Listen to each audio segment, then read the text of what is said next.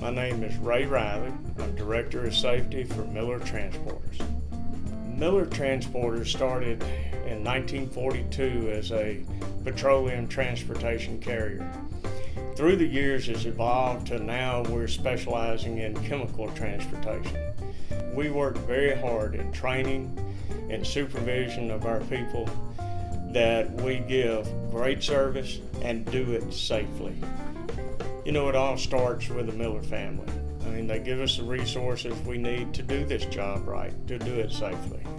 People ask me all the time, what's it like to, to win the Heil Trophy? And especially, uh, I was asked that a good bit after we won in 2006.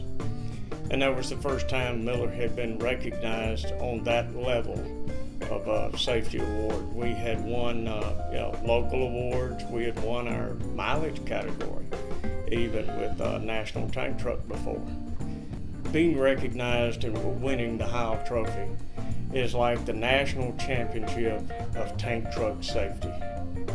2007 was the last year for our president, Scott Miller, to be president of Miller Transporters. And for that, for us to achieve that in his last year as president, that was just perfect.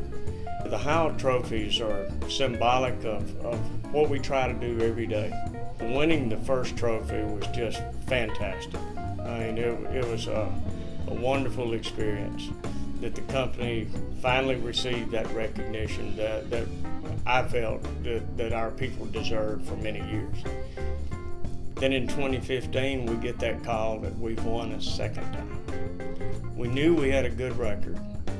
We, we feel like we have a good program, and others that come in and look at us tell us that. But winning that second time, that was fantastic. We're going to continue to strive to be the safest company we can. And I'm sure with that goal in mind, more awards will be coming.